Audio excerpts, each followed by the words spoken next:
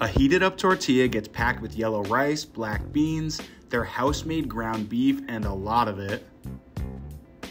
Their spicy queso, onions, peppers, corn salsa, pico de gallo, red salsa, guacamole, red onions, peppers, cilantro, chipotle aioli, sour cream, shredded cheese, and lettuce. It gets beautifully wrapped up,